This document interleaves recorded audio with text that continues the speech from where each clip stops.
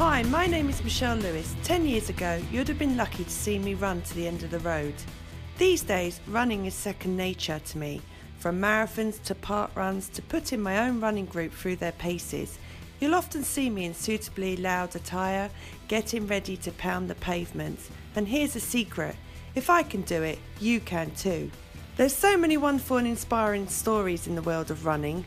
And not just running, some of my favourite tales involve those who take to their wheelchairs, bikes, or simply their own trusty feet in an attempt to get fitter, faster, or just have some fun.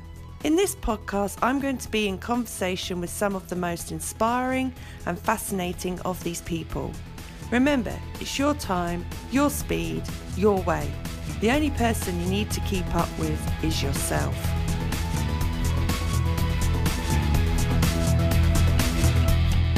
I really need to get in on that intro.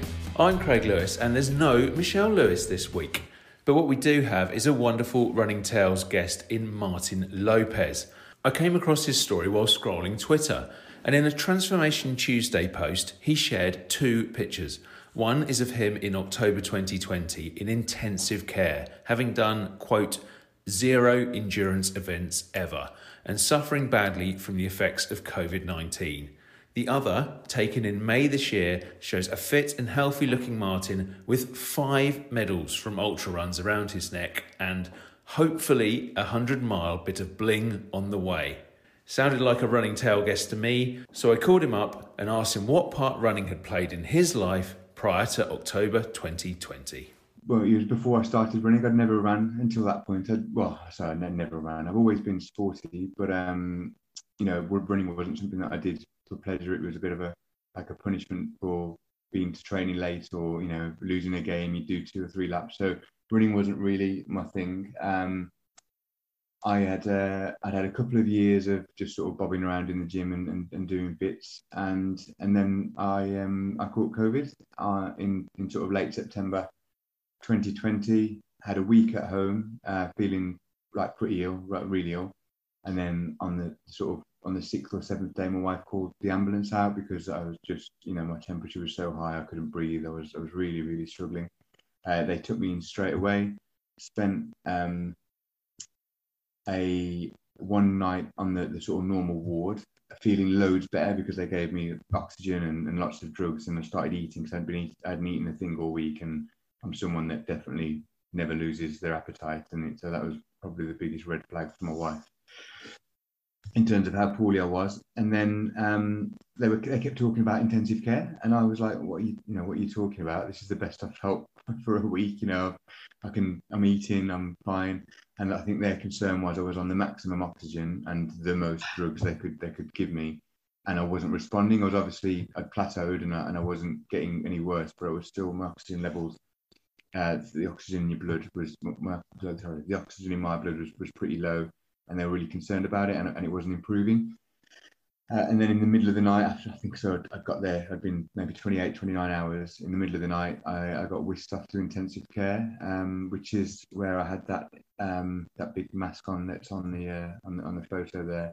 And I spent about four nights in intensive care. Uh, a pretty desolate place at the time. I was the only one that was conscious of about 14, 15 people on the ward.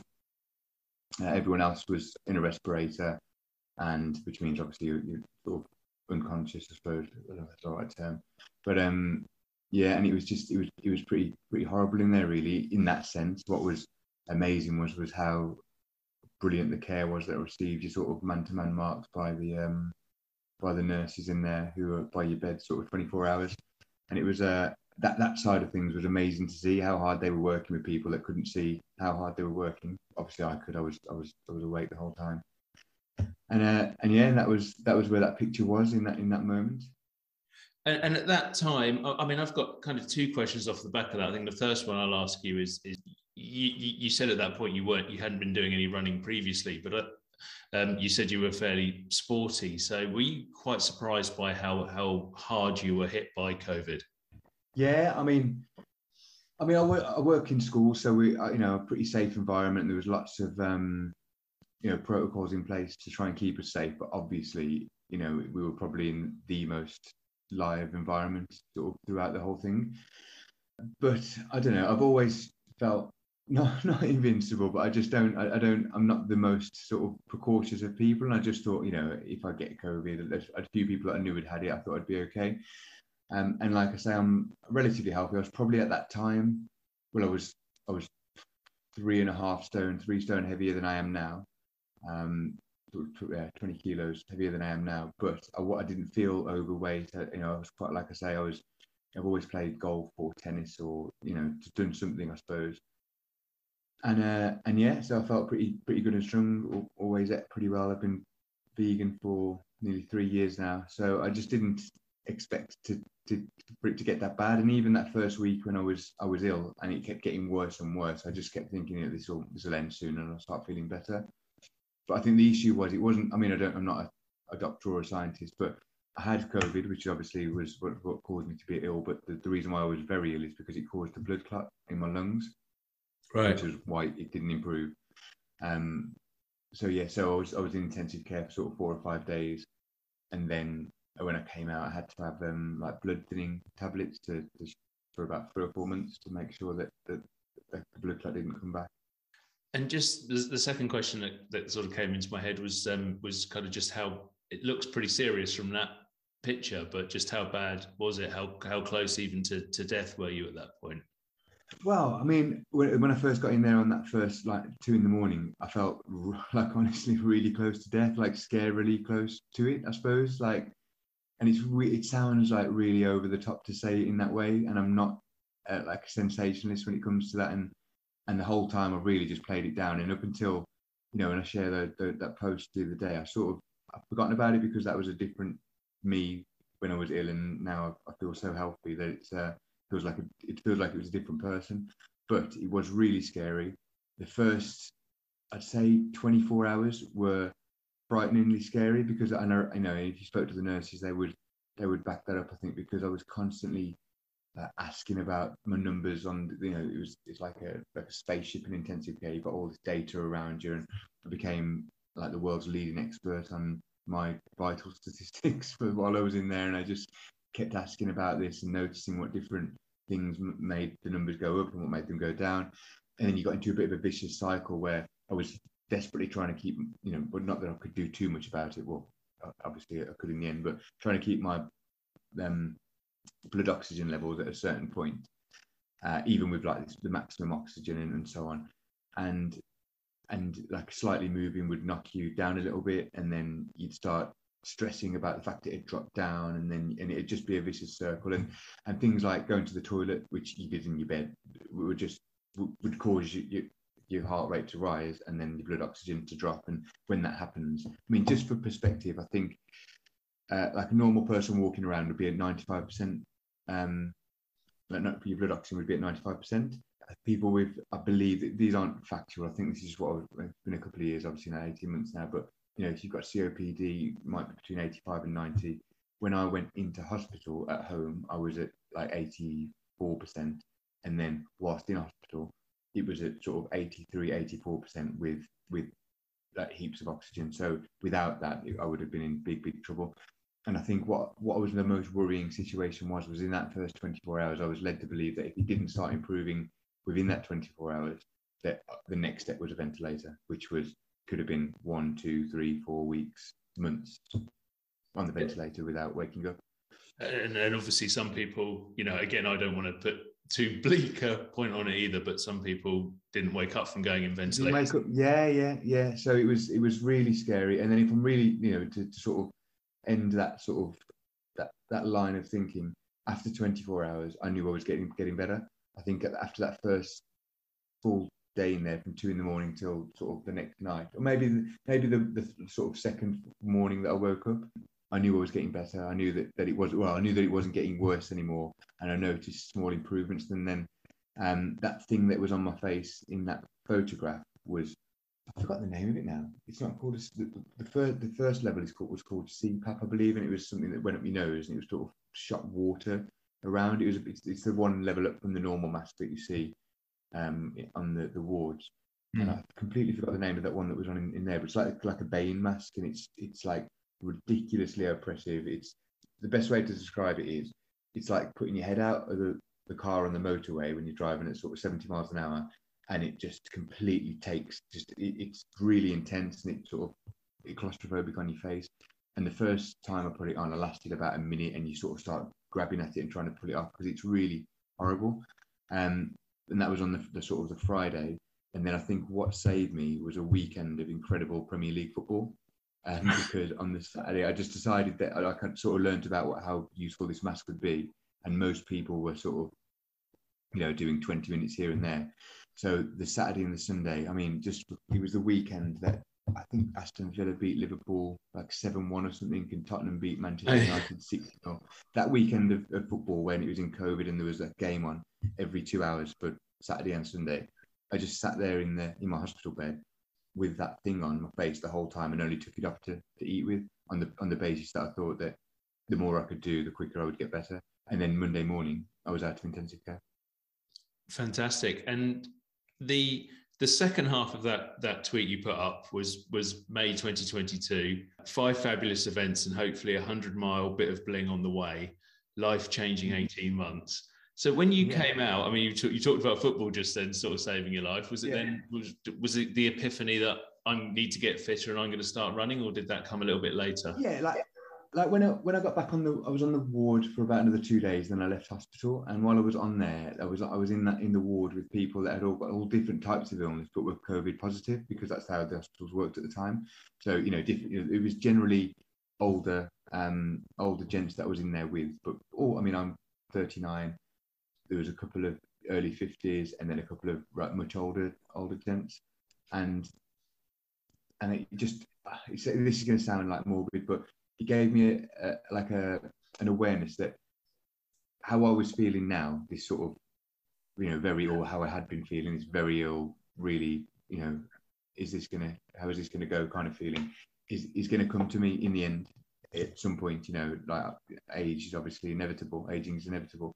Um, and when that happens there'll be sort of different moments in my life that you know it might be you know i don't, I don't curse myself with anything, but I'll, I'll, get an illness at some point, like we all will when we're older, and then be in hospital.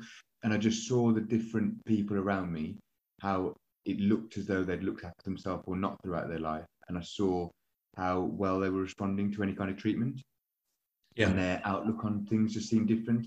And the major thing was, is that the most important thing to me is my, my family, my wife and my two boys.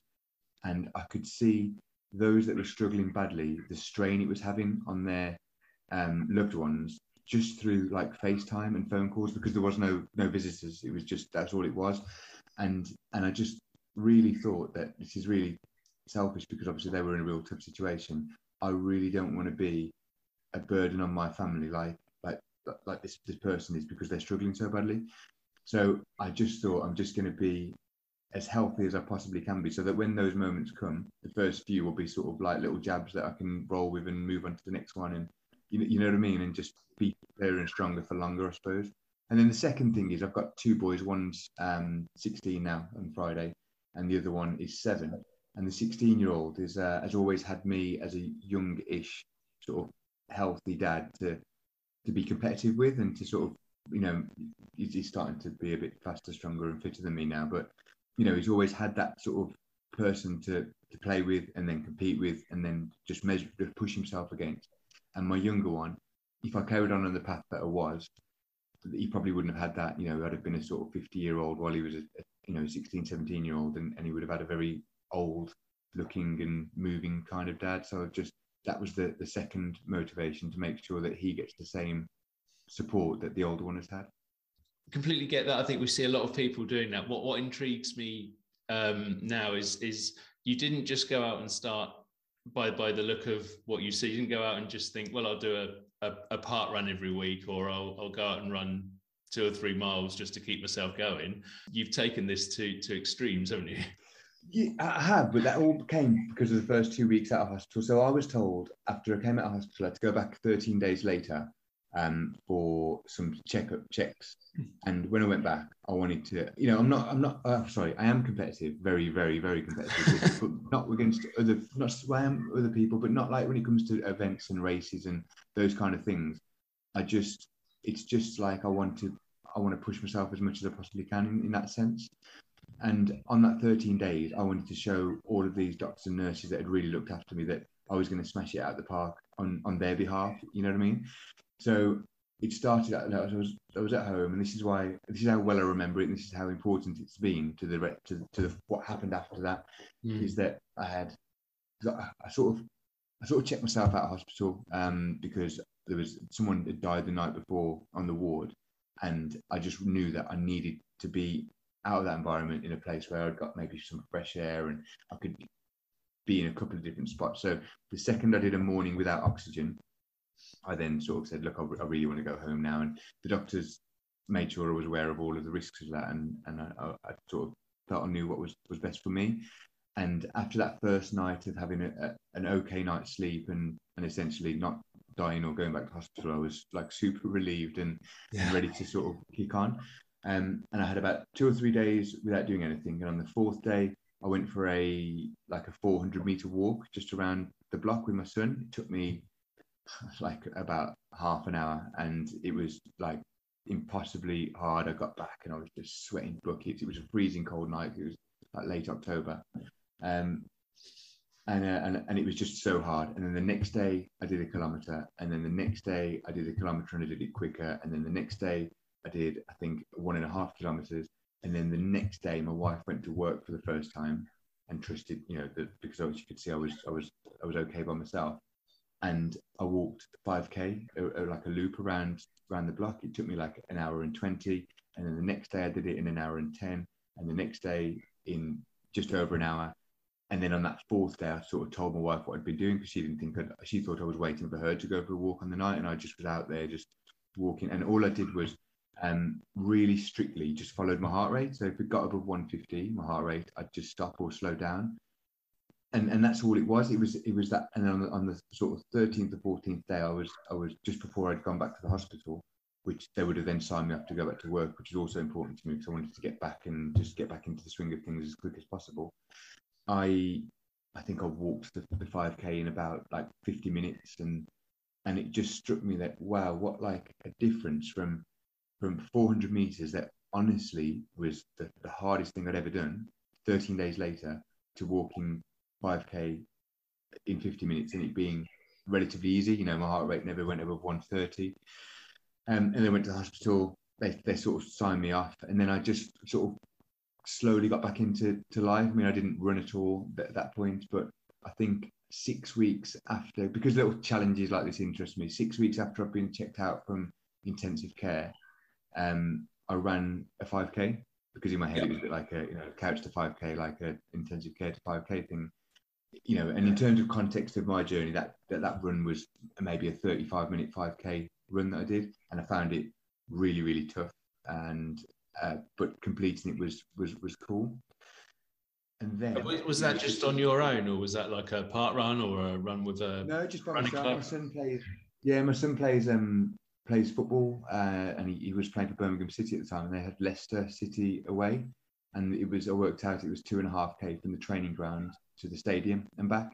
So I just thought that's a cool, and and to be fair, that kind of that kind of like motivation on all of my runs is, is what spurs me on to now even like what you know how far can i go and back or how far can i what can i tie into this run kind of thing mm. so so yeah it just interested me and i thought i'm going to go and try and do that and I, and I did it and uh and then it was a couple of weeks later, I'd sort of then I was back at the gym and doing the odd little jog here and there just to keep an eye on, on how my lungs were improving. Because at this point I was still on the, the blood thinning um, medicine and I was still going back to the hospital every every sort of three or four weeks. And I was showing them all the data from my watch that to show, that they could. I wanted to be sort of signed up in the hospital and and, and clear of that really.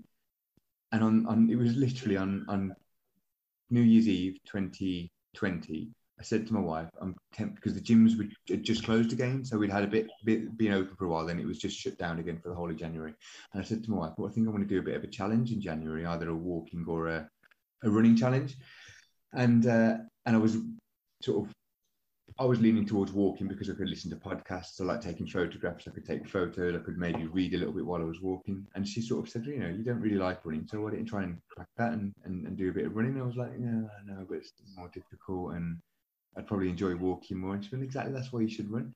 so that day on on well actually it was yeah so it was on the morning of New Year's Eve. On New Year's Eve, I went for a run around eight k, five miles, whatever whatever that is roughly, um, and that was it. And that was my first proper run as a runner in my in my mind. And then January, it just kind of took off. I, I don't know whether I did like because obviously the red January is now a thing, and I don't know whether it was then or not. But I, I probably yeah. did run nearly every day in that January.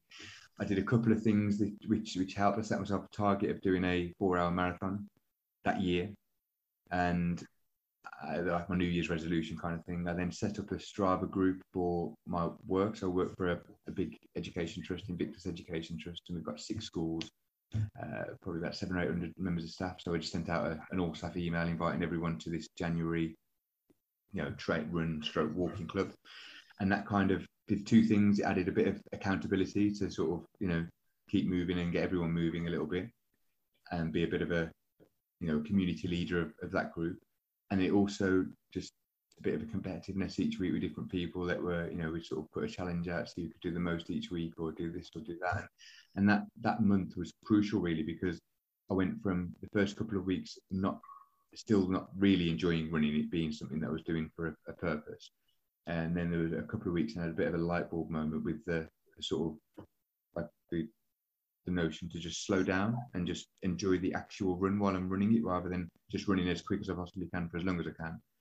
And then and that changed everything. Like I think within, I think the biggest run I did in January was about 28k, which uh, now it's you know I did that I did that Sunday morning just as my, my kind of my, my, my slow easy long run. Whereas at that time it felt like wow, like I got back home and I couldn't believe how far I'd gone and, and what I'd done. Yeah, but even moving up to 28k, I mean that you've you've made that journey pretty quickly once you started um, running, and it sounds like you have perhaps a slightly sort of uh, uh, addictive personality once you get into something that's sports related, and and and are quite competitive with more yourself than other people. Is that is that perhaps fair? Yeah, yeah, yeah. Like I I love. I mean, just lately, this is more philosophical. Just about this this last month or so, um, I've you know, I'm really driven by my numbers and what the numbers are in terms of my kilometers, sorry, minutes per kilometer and, and my heart rate at any one point and, and my speed over a certain distance. But it's, it's only, really, really is. It's not about, in comparison, to it's only about my progression because I think as sports people or athletes or, you know, people that, that do sport as a hobby, um, it's easy to get wrapped up in that from a sporting perspective and, and just being, you know, sort of, and, there's nothing wrong with that because people that have grown up as a runner, like I've grown up playing football or tennis or golf or any other sport, it's important because you've got a really acute understanding of your community and the level you're at within that community.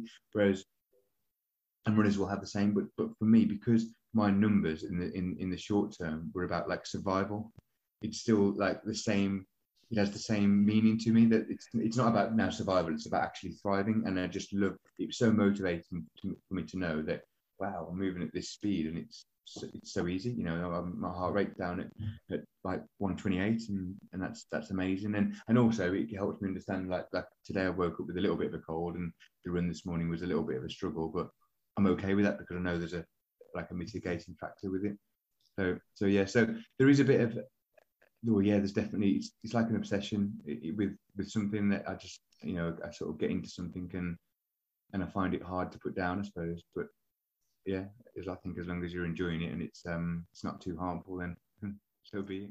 Yeah, definitely. So, so you you you caught the running bug in that month. How far along has that has that bug taken you? Tell us a little bit about some of the events and yeah. some of the challenges you've done since then so obviously the first goal was the marathon, and I think I did that in about March. That was for that was the year goal. It was just by myself. I just went out and ran like a there and back on the canal, and um, and yeah, and and then while I was doing that, because of this community that I developed through my workplace, a couple of guys they were really into triathlon, and one of them was um, it, it, to be fair, he's doing it this year, Tenby Ironman Tenby. It's been cancelled twice, but that was his big goal, yeah. and he sort of urged me to to have a little go at triathlon and then before before I'd, before I knew how to swim, I mean, I could swim, like as in I, I, I, can't, I didn't drown when I went in the pool, but I couldn't swim with my head underwater or do any kind of technical stroke. Um, I signed up for a, the half. It's not it wasn't an Ironman event, but it was a half Ironman distance event in the June, So this was just after I finished the marathon, and then I sort of learned how to swim as quick as I possibly could, and then I went open water swimming, which was like horrifying. Um, but anyway, I mean, I, I, did all the training for the triathlon, got a bike. It was just like classic, the sort of everything, you know, every anyone that knows me, like friends at work or friends generally, just like this is classic. You know, this is this is you all over, just all in, all or nothing kind of thing. um, and I did, I did the, I mean, even even the Ironman, the, the, the triathlon, I had this like stupid target of doing it in under six hours, which was pretty unachievable because at that point my fastest half marathon ever would have been about like 155 and I'd never gone under sort of three hours for the bike part and the swim could have took me anything up to an hour but I was just like you know on the day the sort of like the, the rush of everyone doing everything together will get me to and ended up coming in at like five hours 57 but and it, and it was like on the morning of it I kept thinking oh what if I don't do it under six hours then you start thinking nobody cares like nobody other than me I've, not, I've not said to anybody uh, anywhere this is the most important thing that I do in under six hours. But on the day, I was starting to feel nervous for it. And I don't know whether that's a bit of a, a defense mechanism to stop me worrying about finishing and just have me focused on a target rather than rather than the target being let's just get through this. It's let's get get to this point. But yeah, I, I think it's a strange thing we, we we all sort of do when we when we enter any of these events and we think I'm going to try and do uh, a, a half marathon in this time or a marathon in that time, and we we sort of make it the most important thing in the world just to help ourselves get through it and that last six yeah. miles of the marathon say and, and, and then and then we realize at the end that, that maybe apart from our family and close friends, nobody could care less whether you did a marathon in yeah. 330 or 730. not, even, not even my family or close friends. um, but yeah, no, they, I mean, they do. They've been so supportive. Just that's a joke, obviously. But yeah. Um, and so I did that, really enjoyed it. But the, you know, the amount that I like exercising, the the swimming and the cycling just I wouldn't say stressed me out a little bit, but trying to fit it all in was just quite difficult. And truthfully, running was the bit that I really I, at this point I just loved it. I just loved it so much. I loved the, the thought of things like you know if, we go on holiday, it's really easy just to, to just chuck a pair of trainers on and go for a run. Whereas to try you know to go on holiday and try and continue with triathlon training, you've got to somehow get a bike on the top of the car and take your wetsuit and then dry that every time you've used it. And it just it just became like it was more of a it was more competitive and metric based and less the actual event itself even and less sort of like free spirit. And even a bit so i'd say it, it goes to in my opinion like this. You've got the triathlon community then the road running community then the trail running community and the trail running community is just like it's just like a, a buffet on the move when you go for a sort of ultra run, you're just sort of running to the next all you can eat buffet station. Um, and it's less serious and more like fun, fun based. Um, and then running is sort of a bit more hardcore and about where your you know, where, where your time is and, and where you're finishing in the race and so on. And triathlon was like one one even further along it felt, and that's probably really unfair on all those communities, but that's my my experience of it and my take on them.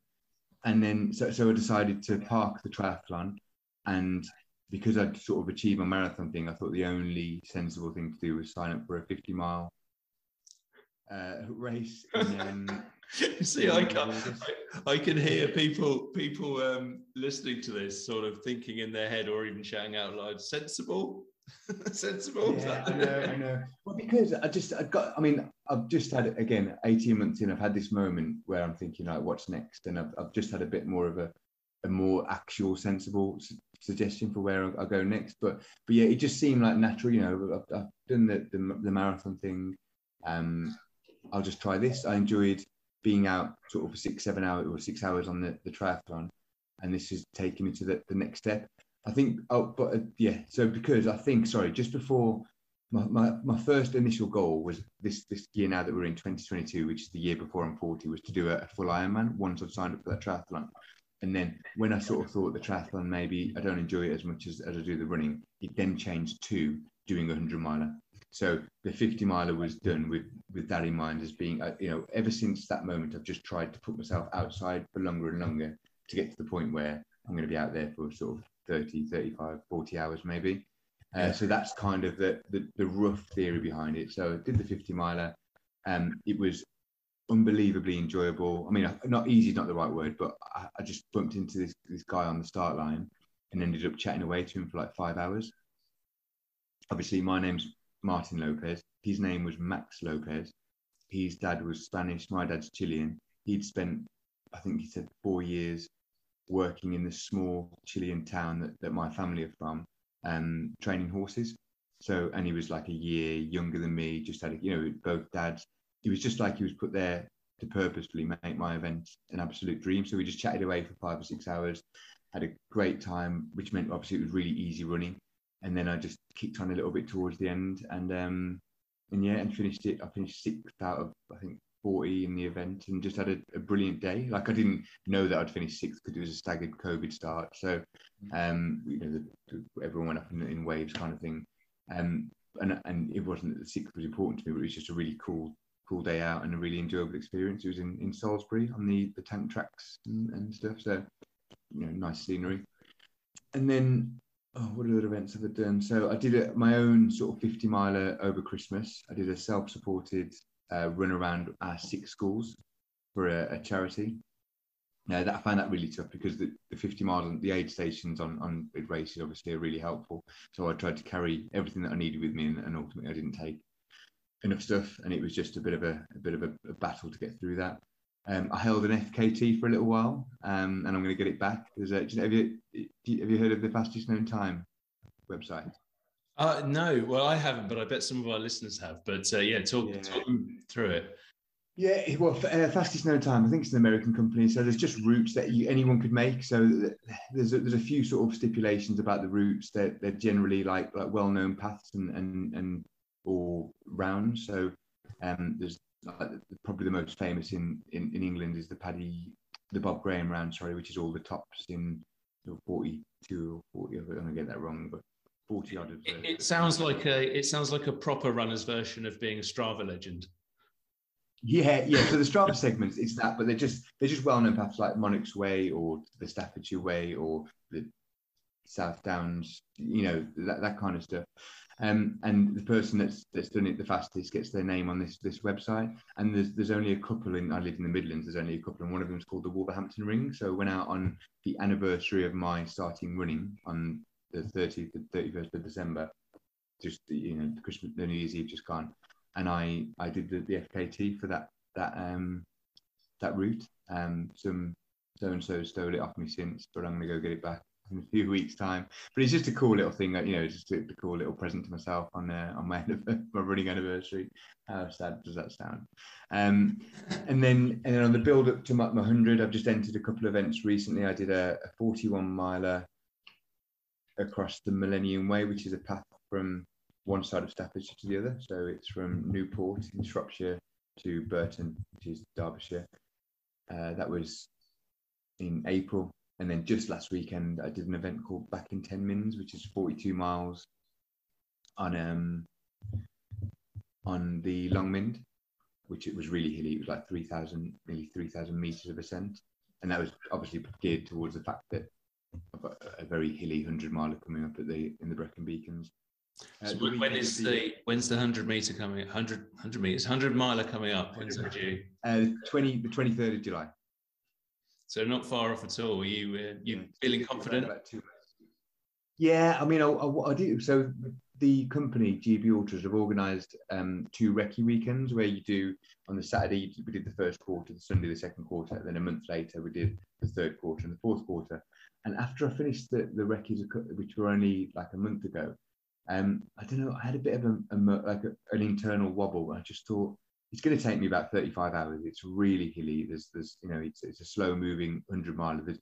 I didn't know anything about it when I went it. I just thought it sounded like a cool, a cool thing in the mountain. I've watched too many American trail running YouTube videos and just thought, yeah, that's me. I'll, I'll do that. Um, and it, in hindsight, I don't think I'd have entered it if I'd have known how difficult mountains were to run up and down. Um, and it's, uh, yeah, it was, um, it was a bit just it just felt like I, when I when I'd completed all four of the records, I just thought I'm, I just I'm not going to stitch all that together and do it all in one go. Um, and then I think when I did the third and fourth record, I had a really heavy week of running the week up to it. So I'd, I'd gone into that weekend pretty fatigued. Um, didn't have. We I camped for the first time, I think, in about 20 years on on the, the Friday and the Saturday. So I didn't sleep that well. And then on the Sunday, my son actually broke his ankle at the start of the run. So I, I was sort of running with that in my mind. Obviously, he broke his ankle on a football pitch in Lincoln, and I was in Brecon, and I had that sort of like conflict of why, you know, why am I here, you know, mm. in Wales, and my family are miles away, and now they're they've got to go to a hospital and blah blah blah. So it kind of really like it gave me a bit of a wobble as to what I was what, what was I doing and you know why was I doing this and it's going to be really hard anyway, like and so on. So, um, which I think was probably just down to like exhaustion for lack of sleep and and a, and a real heavy week. And then obviously I got back and spoke to my wife. My son was okay. He's, he's recovering now, and um, and like yeah, her words were, "There's literally nothing that could have been different if you were here. It would have been the same. We didn't know it was broken. We took him to hospital afterwards. and it was broken, but you know that that's it really. It's uh, it's one of those things, and just sort of gave me a bit of a shake and said, you know, you've done nothing but talk about this. If you don't do it now, then I'm going to kick you out the, uh, the house, kind of thing. so, so yeah, and and that was. I mean, it was never like I really thought I wasn't going to do this. I just thought, why, you know, why am I doing this? Um, because it's going to be tough, and and there's more important things. I've got nothing to prove, sort of thing. This is this is uh, something I've created myself. Um, and that lasted like a day or so, and then and then I don't know. Since then, I've just had some really good runs. That, that the event a couple of weeks ago, the really hilly one, went really well again. Almost sort of finished. In, I think there's I forgot the number of people that run it now, but there's quite a few, and I, I just just finished shy of top ten in that event. But more importantly, just found it really comfortable. The whole day was super enjoyable. There was no struggle, and yeah, and I'm just uh, just I feel ready. I feel really fit and healthy. I feel like I've got another seven or eight weeks left. Well, no, probably another five weeks of serious training, then then three weeks of tapering down a little bit, ready for the event we'll assume the hundred miler goes uh, goes perfectly well, and you you enjoy it and get through injury free and uh, in in a comfortable time. Uh, what what's next after that? Well, I don't, know exactly, but what what I thought naturally was going to happen was was that I was going to progress to you know maybe another hundred miler or another another a couple a couple of hundred milers, but then to like a multi day kind of race. There's a couple like famous ones in in the UK like the Dragon's Back being one is I think five or six days through the, the whole of Wales, um, or like a, a, major coastal path attempt. But I just feel like that um, those kind of things can wait because I just think that the training for those just takes you you out for so much, so many you know long long days and and big training efforts. And as much as uh, I, I, I love it, I just think that I've got a youngish family and there's I can't afford to spend more time than I do now. So how I fit in most of my training is is before everyone gets up. So I'd say seventy percent of my running's done while while my wife and the kids are, are asleep. Um, but obviously, when when you're training for these massive efforts, there are days where you just need to go and do a six seven hour one, and and for a multi day one, I'd need to to practice doing that day after day. So I think maybe that's something that will probably wait till I'm a, a bit a bit later in life when when the kids are grown up, maybe. Um, so I'm really not sure at the minute, and I, I, really like the fact that I'm not sure because I do like sort of following a little path for a little while. It'll be, I mean, what is for a fact, it'll be running of some some description. It's not that I'm going to fall out of, of love with running. It's just that it could be at the moment I'm going down the line of, of looking for like a series of 50k trail race kind of things and make that my my goal for sort of 2023 is do a, a number of those. And having said all of that, there's a guy that that's going to support me for the last 50 miles of the 100 miler who's got a, a lifelong ambition of doing the, the, Bob Graham round, which is the, the, Lake District one. You have to do all of the, the, the tops in there, the mountains in there within 24 hours to get your name on this pretty prestigious board. So he's he wants to do that in May next year, and and as a, a you know a return the favour for helping me out in, in July, I'd probably feel inclined to to do that I mean, it's no, it's, it's like a really, you know, great thing to do to go and do it. But um, yeah. that that could probably be one of the things. But yeah, I think maybe picking a distance um, a bit shorter than 100 miles and making that my, my race distance for a while and just seeing how, just exploring it a little bit and seeing how, how I can get on with it. Um, that's probably the, the next thing, really, I think. And is that potentially a, a, a marathon distance or, or maybe something a bit longer than that? I, well, I just I think anything between. So so marathons 40, 42 k. Um, 50k is a is a, is sort of a recognised trail distance, I suppose. But anything from from 50k to 70k, I think it, it's it can be done in you know the event itself is then done in in you know between five and and eight hours, depends on, on the terrain. And all the training for it is is no longer than sort of four or five hours. So that's more that's more what's going to guide my decision. But yeah, um, I, I don't think like road marathons. I did Manchester last year, and mainly because again, similar to the the uh, the, the triathlon, I just set myself a target of right. You know, if I don't do this in three and a half hours, the whole thing's a waste of time.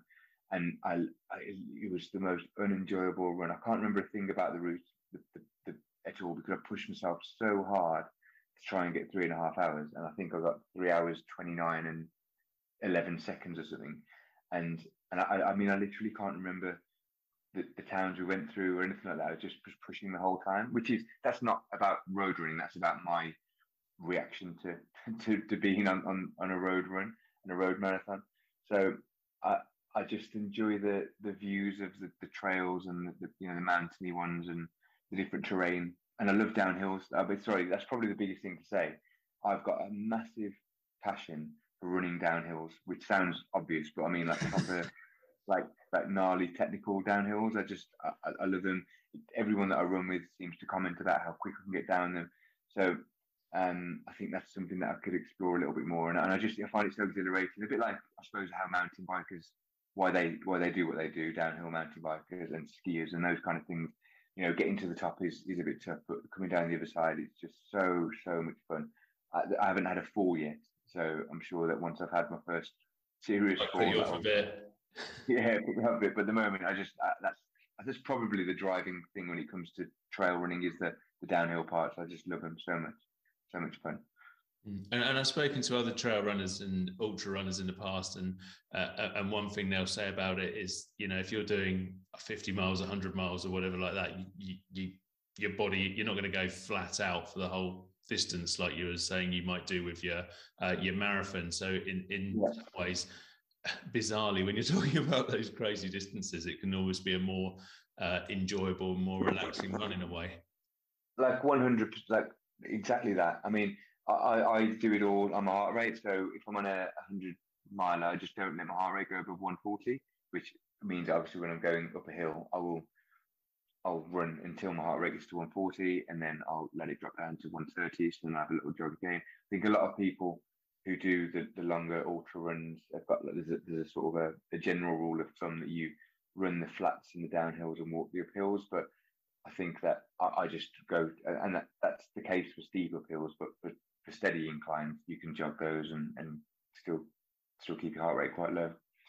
You know, I where where I am with my training at the moment, that's where, where I am. So so yeah, and and it's, it's true. It is just so enjoyable, and the, the, the different people that you meet, and it's like the, the thing about being competitive. The events that aren't why I do it. I think the events like give me something to train towards a, a little bit, but I don't get too much. I mean, all the events I've done this year so far, the two that, that just happened, they, they were essentially training runs. I went into them with no desire to push really hard. It was the, the 41 miles Millennium Way was on the Sunday of um, a national run to work week for teachers and school staff.